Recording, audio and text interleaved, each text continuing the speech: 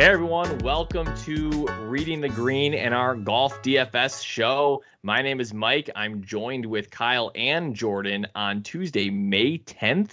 We have our AT&T Byron Nelson preview. We'll recap the Wells Fargo Championship and uh, and probably just jump right into things here. Kyle's got a precious hockey game that he wants to get back to. I mean, we all do, but that he wants to get back to here the the Wild and Blues Game Five. So uh, warning that that is going on right now uh, on screens in our various recording locations, so that we might be interrupted with some action. Yeah, Oh, big wait, game. Did, did we start? Yeah. Oh, sorry, I was watching the game. I know you're going to be distracted. That's okay. I That's did hear on KFan on the way back from the circus that I was just at. I, I haven't paid attention to any of the other hockey. Six of the eight series are tied 2 2 going into Yeah. game five. That's crazy. Which which votes well for our uh, showdowns on DraftKings, Mike. we a lot get a lot of games. Yeah, do we're a doing lot like games. the 75 showdown, 75 game showdown challenge or something for a bunch of crowns. Just yeah, it makes the other Yeah. series more fun. Yeah, it is. It's been an interesting first round of playoffs. Like there hasn't been like I guess there's been a really low number of overtime games. There's been a ton of goals scored. There's been a bunch of blowouts. Um, it's been an interesting NHL season so far. Not why we're here. Speaking of goals, I could use a couple more wild goals right now. I know Kyle's working on a single game parlay, a three-legged single game parlay that he's already hit one leg on, and he's uh he's itching to cash that ticket. So we'll kind of we'll kind of keep an eye on that as we go here. We need a couple more things to happen. So um all right, so we'll we'll keep moving along just so that we can uh we can get back to the hockey game. I'm the only one with a beer tonight, but I will show off my barrel theory crowler. This is a uh this is a the DDH Stratasphere. It's a single hop uh, Strata beer from Barrel Theory, a favorite of the podcast. Um, I really like, you know, single hop beers are really fun every now and then, right? Because you really get to like see how that hop comes through. And I think like you know, Fair State does a single hop Strata that's always always really good. And uh, Mhm. so this one this one's uh, excellent. I'm I've pretty got jealous. I've got the Modist, you know, they do their liquid Mm-hmm. uh crystal. Crystal. This year this year it's the El Dorado. It's tasty. Yeah, I think I had that one. Yeah, they they do a good job with that single hop one. Yeah. Yeah, because they've had the liquid strata crystal before, right? Mm-hmm. Yep. Yeah, this is their fourth one, I think, that they've done. It must be single hop varietal time of year, right? If It must be. I don't know. I out, Modist put one out. I sent you guys that picture of me buying a four pack of King Sue this past weekend because, like I said, sometimes you have to go back to just remember are your favorites still your favorites, and uh, that one is, and that's a that's a single hop Citra beer, and it just is uh, so easy to go back to. Delicious. Tough, Well, tough cheer- to beat that one. Cheers with my uh, Aquafina I got in front of me here. and my water. All right. Um, well, we'll jump into the Wells Fargo recap. Um, actually turned out to be a, a pretty good tournament. Um, the weather was awful. Uh, it reminds me of, or it makes me remember that like I'm really happy that I don't play professional golf for a living, right? That I don't have to play on weekends like that. No, I'm just kidding. I wish I was playing professional golf for a living. I was gonna say the the weather I've played in this year so far hasn't been great. So right. Um, I, I do love it on the PGA Tour when you have you know a 50 degree morning and they're dressed like it's 20 out there. Yeah, it was it wasn't good, which means the grounds crew must have done a really good job because they didn't seem like there was a single delay the whole weekend, which made it nice from a viewing perspective that we didn't have to get held up and my DraftKings app was updating nicely throughout the weekend and there wasn't all these these big breaks. Um but I was I was happy to see Max Homa win. I mean, he's just uh he's such a fun guy to have on the PGA Tour. He never takes things too seriously. He's obviously a thrill on social media. Um, but man, his game looked really good, and a lot of guys that were on him, our experts that were on him leading up to the weekend, said, "Hey, all he needs to do is putt well. Like he's hitting the ball so good the last handful of weeks. He just needs to have a good week putting, and it's going to happen." And the dude was making everything inside of ten feet. So I'm really happy to see him get it done. Yeah, uh, Sunday was fun. Uh, there were so many two shot swings, and the one that really sticks out to me was actually the one that didn't happen. Talking about Homa making everything, he he scrambled for a a, a par. I want to say it was Mm-hmm. what 18 footer. He dropped something like that, and and Bradley had a eight foot birdie, and and Bradley missed it. That was that was a huge swing there. That could have been a two shot uh, Yeah. when we had three or four already in the round, but. I, I was okay with Homa winning. Uh, Bradley not though, as a outright ticket holder, kind of stunk. Also had a Cameron Young outright ticket, so hey, two second place doesn't go far. And damn it, yeah, I hear you. I needed uh we'll get to the we'll get to the listening league results, but I really needed a good Sunday from Bradley and I did not get it either. Um but You- question for you, mi- guys. You missed Mike. You missed his damn it. There wasn't about golf. Oh, oh, the Blues scored. I wasn't looking. Okay. Yeah, I did miss that. Just mid sentence. Damn it.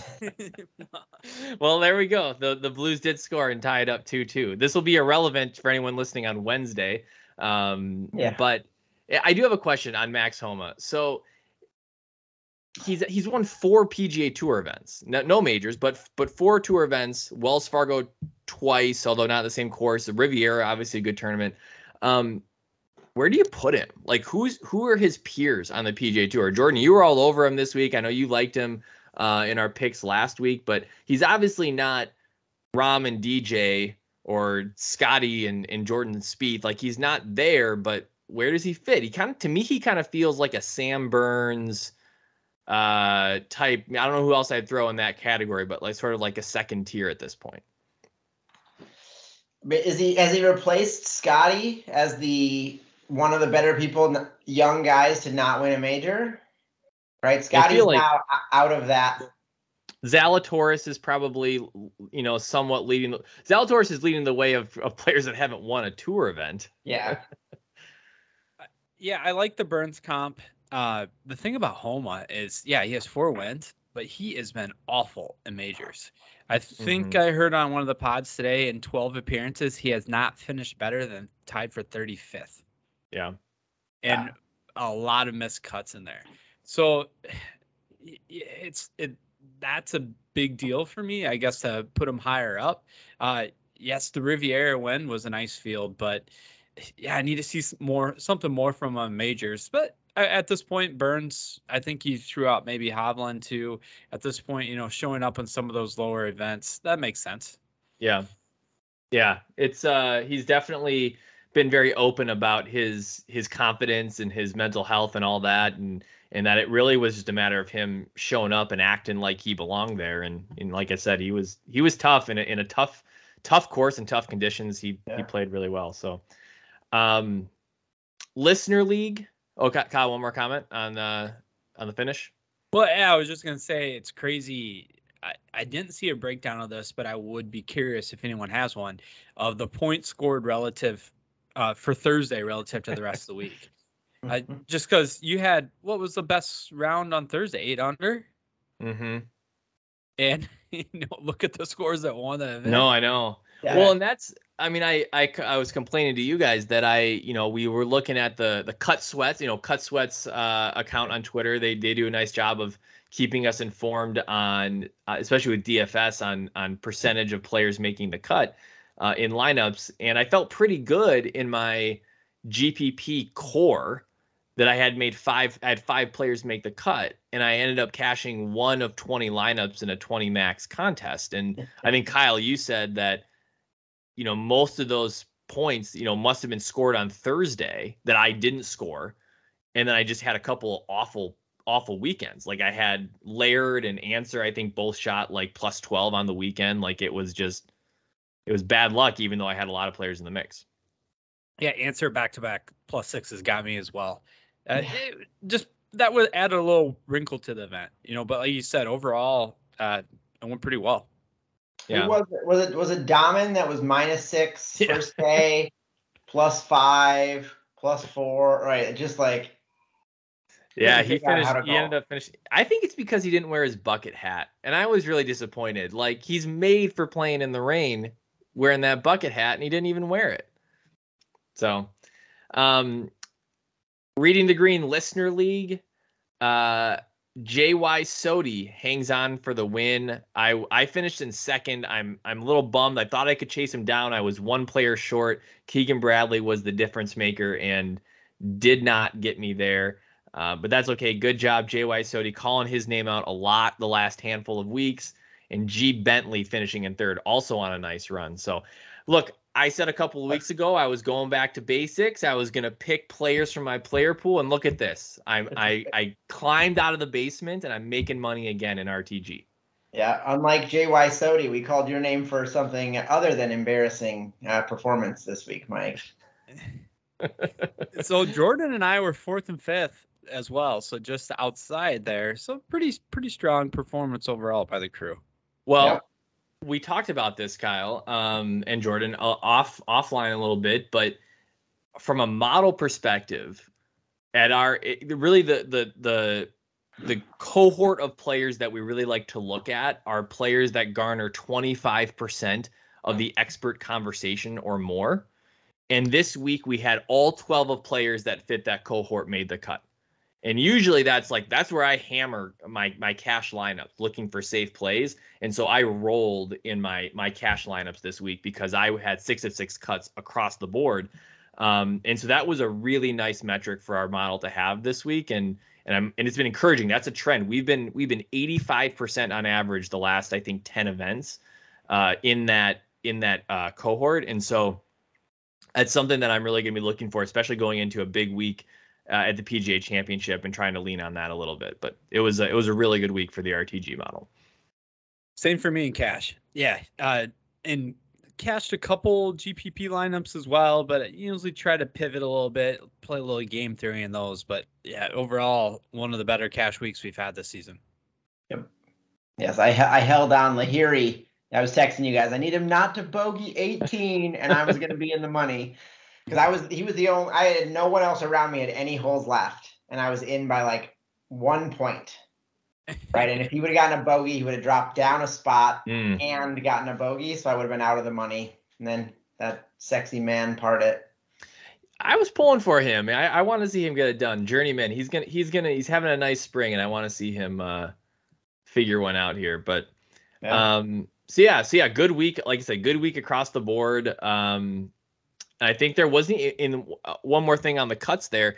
It was a pretty, I think there's a pretty low number of players made the cut too. I think it was right around 65 total players made the cut. So um, it was just again, that's why we, I think our lineup stood out this week is because the the model had some really nice plays, pretty safe plays um, for that matter.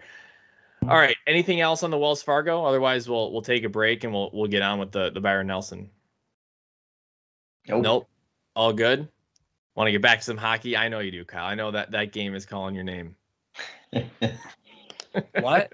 Hey, you needed Kyle for your single game parlay. You needed that St. Louis goal because you got to get to you got to get the over six and a half. So you got to get goal scored.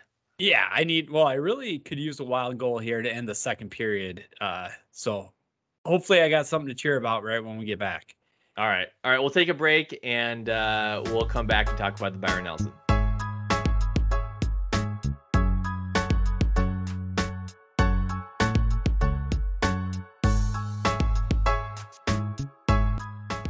Everyone, welcome back. We have our AT&T Byron Nelson preview.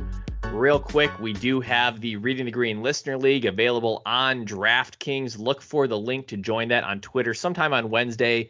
Love to get a few more people in playing DraftKings PGA DFS with us ahead of the PGA Championship so we can fill out that contest uh, certainly next week. Um, take real money out of our pockets. We have a ton of fun getting to know people, uh, and, and it's a it's a good time each week. So AT&T Byron Nelson. This tournament has bounced around courses a little bit the last handful of years. They've settled. I think they have a five-year contract at TPC Craig Ranch in McKinney, Texas. Last year, KH Lee won at minus 25. Um, yes, minus 25. So we are back to seeing uh, a birdie fest. And I don't know if that makes this a straight up putting contest, but what I do know is that – this course really sets up well for what we'll call trackman golfers. So golfers that really like the, the players that can just hit the same shot over and over again, right? Hit It doesn't really matter which way it goes. Doesn't need a ton of creativity. There's not a lot of trouble out here. Big fairways, big greens. Hit the shots over and over again, make a few putts, and that's what's going to do well. So, um, I don't know. I I'll I'll probably check it out a little bit through the week, but not something I, am really kind of saving my my golf viewing for the PGA Championship. Good field though, right? Yeah. Good field. Yeah, strong field overall, and you know I will be curious if this year plays maybe a little tougher.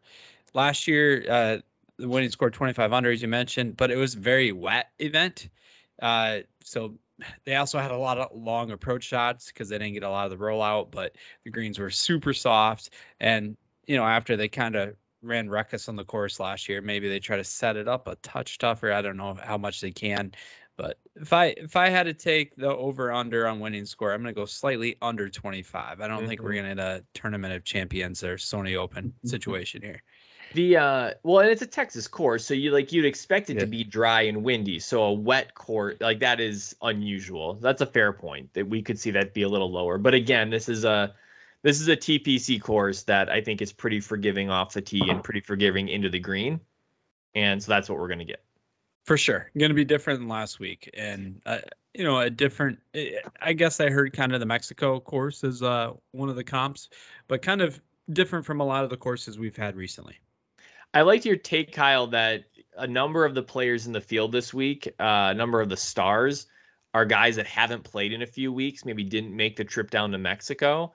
And so wanting to get that tune up ahead of next week in Southern Hills is adding to the strength of this field.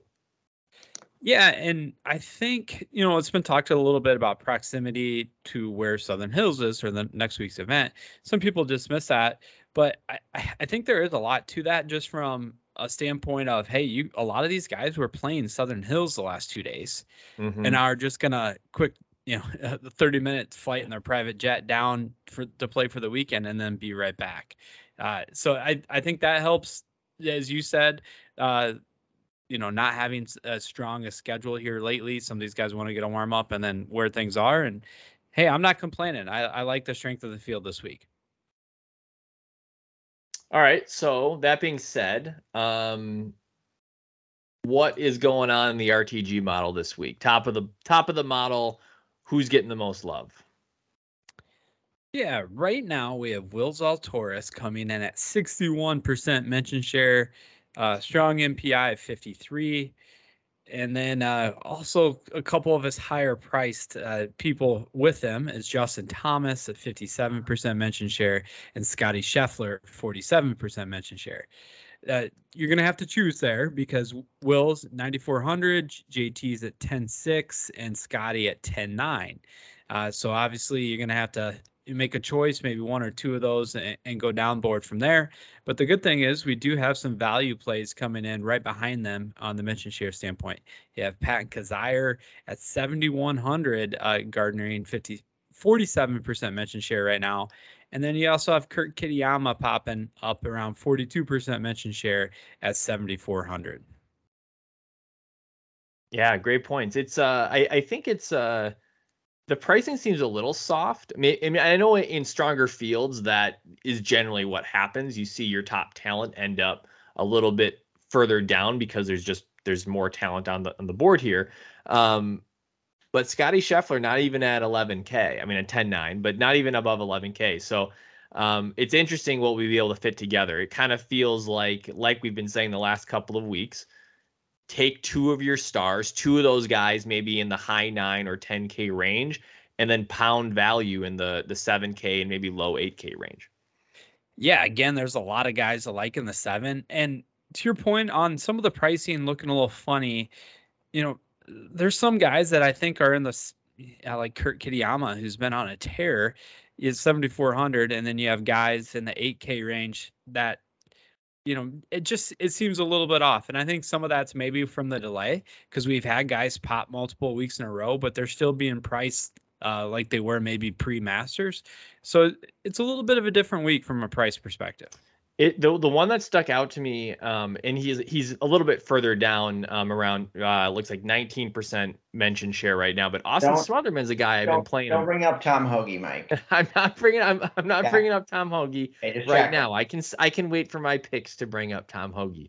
Um, but like I've been playing a bunch of Austin Smotherman the last couple of weeks. He's been getting a lot of love from experts, and all of a sudden now he's 6600.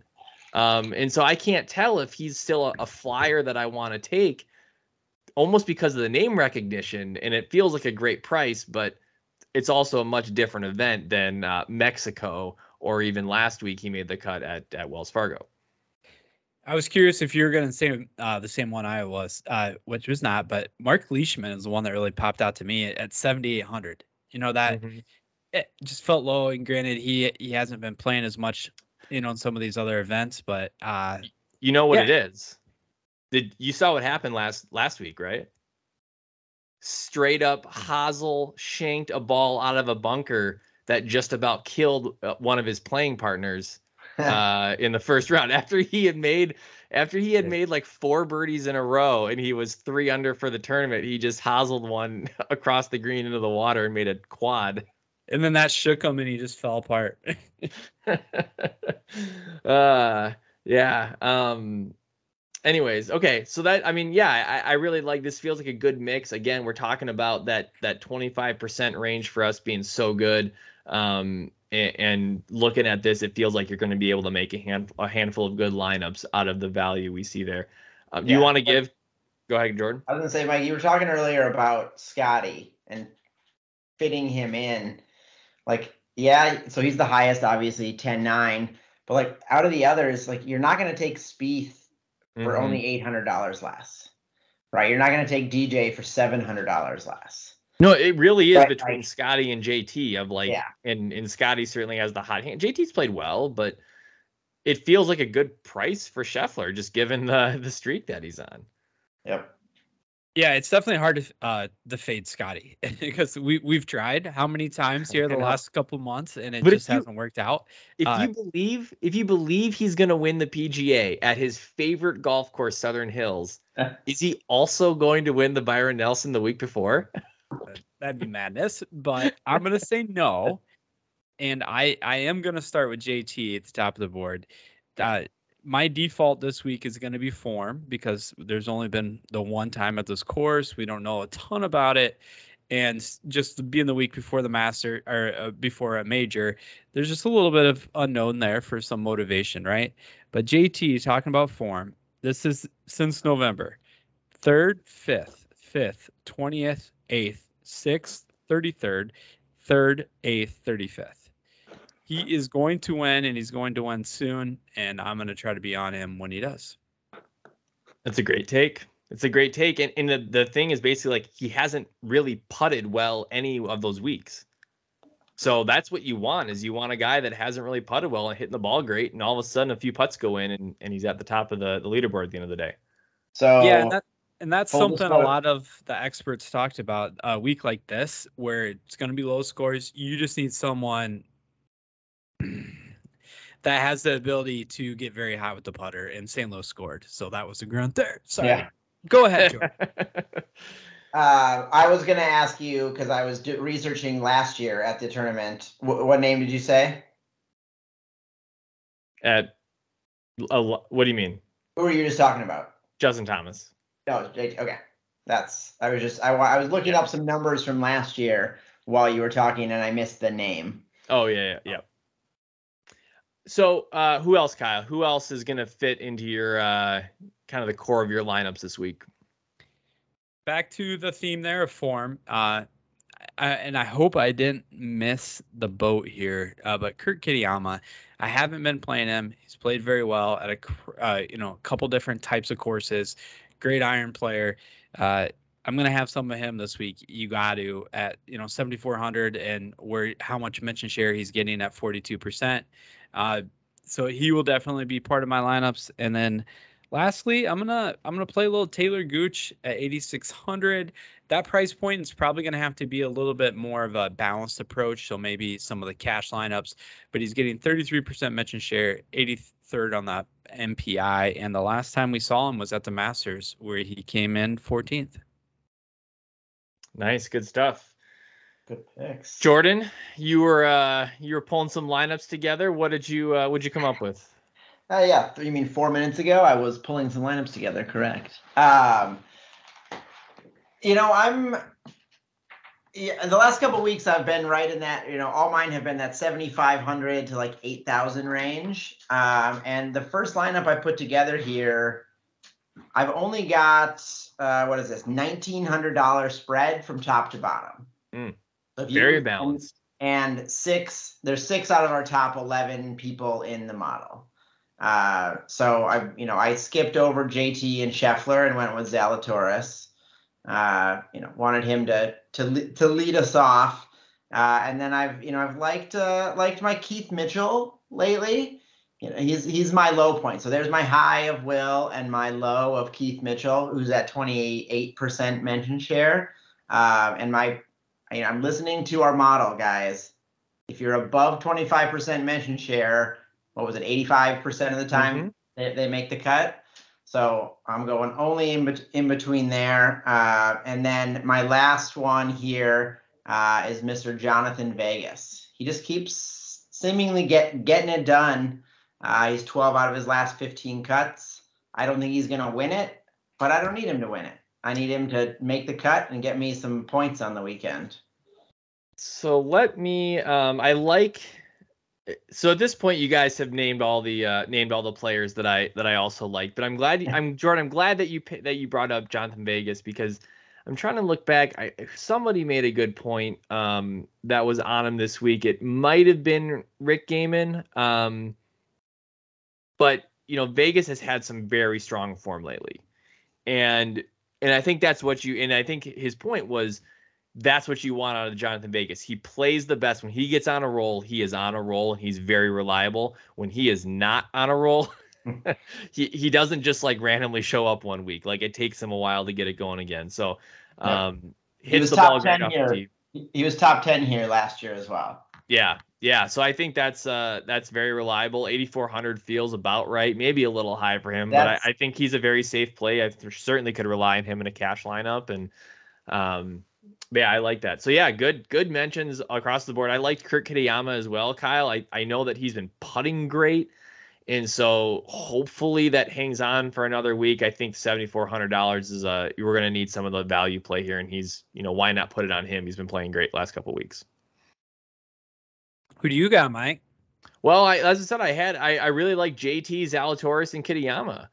Um, No- I don't really no know who else to who else to throw in there. I I I don't want to fa- I don't want a hard fade Scotty, but I I feel like JT's hungry. JT's hungry to to get a W, and I think he'd he'd certainly benefit a lot from getting a W this week, heading into uh, an important week next week. So um, I want to put my money behind behind JT in a number of lineups. Two others coming in at over 40% mention share that uh, I don't believe we've mentioned yet, unless I missed it. Uh, Aaron Wise and Adam Hadwin, uh, both you know in the 8K range at 42%.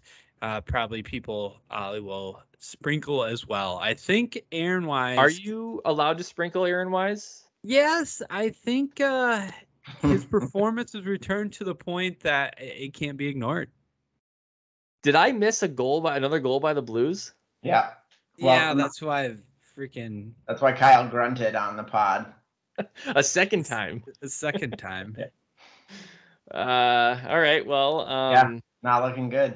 I wanted. Uh, yeah. There's other other. Yeah. Yeah. It's not looking good. It's well, I- I'm still if I can just get a six four victory by the Wild here. That's that was the trick. You got you you uh you had needed the six and a half. That looks like that might happen, but the wild win is not looking good. Um, tears, Kyle. Uh, I want to hit on tears here before we wrap up. So distracted here by uh by the all the goal scoring of the Blues. A crappy hockey player. You know, I think this week a lot of it seems to shake out pretty clearly. You obviously have a choice at the top. Uh, there's there's a hammer play according to our model in tier two, but the one there is not a lot of agreement agreement on at this point in time is tier three. You have Niemann, you have Brooks Koepka, Tommy Fleetwood, Adam Scott. Uh, you know, eh, I think it would be pretty risky to go with Koepka the weeks before a major. I, I truly think he's probably going to be looking at this as a tune-up type event. Tommy Fleetwood, uh, Mike, you kind of hit on that about some of the guys that have been playing well recently. Well, almost all of Fleetwood's strokes gains over the last couple events have been around the greens, which this week, you know, we don't really care about strokes gain around the green. It's there's a lot more uh, from approach and then mm-hmm. maybe some distance off the tee. So giving those two guys, I'm going to be dismissing a, a bit. I think I'm going to go with Niemann at 19% mention share at this point in time uh, as my pick in tier three. That is a. I'm glad you brought that up because that is kind of like a forgotten group of players here. That that tier three group, just no one's really on those guys. But in tiers, if you're gonna play tiers, you got to pick one. Yeah, and I, I, think it's the nature of the salaries this week, right? You get up that higher eight, lower nine range. It's gonna be hard to fit those guys in if you're going two at the top above that. So I don't think you're gonna have much in a classic lineup so really, the only place I'd probably be playing those guys is is tiers. Yeah. One and who would yeah who would you rather have? Zalatoris, uh, Sam Burns, or Brooks Koepka? Right, those are three salaries right next to each other, not for tiers, but for the salaries. And like, you're never picking Koepka in that. No. Yeah, not not in a non-major. Not, not or not in the non-major, or not uh, the waste management. I mean, he is he is the definition of a guy that like in in a tune-up mindset, he's there to play 36 holes and just kind of see what he has. Like some guys like Spieth or McIlroy, they said around the um around the Valero, they're like, hey, I want to get on a roll for the next 10 days. I'd love to win this event and win next week too. I think Koepka is very content with 36 holes, make sure I'm feeling good, get back up to you know Oklahoma or wherever, you know, wherever he's going to be for the next couple days. Yeah, don't get us wrong. He could he pop up and and do well. Yes, I'm just not willing to bet money on that. He's not. He's not motivated. That's mm-hmm. that's that's for sure. Um, all right. Well, um, I know we're itching to to get to the PGA Championship, so this is just one more stepping stone um, on the way there. But we'll have uh, plenty of money on the line. Um, and I and I think I think the model's shaping up nicely. I think we're gonna I think we're gonna keep this thing rolling and have another good week. Um, any other final thoughts on on DFS this week? You know, since we started recording, uh, the Wild are down three goals to nothing. So we need to change. we should maybe stop. Here. Yeah. So we should we can stop. That's a good idea. Um, so hopefully on Wednesday, everyone's listening to this the Wild have won five to four or six to four in uh, Kyle's case, what he's looking for. Um, but we look forward to uh, to catching up with everyone again in a week from now. We'll recap the Byron Nelson and talk about the PGA Championship at Southern Hills. See ya.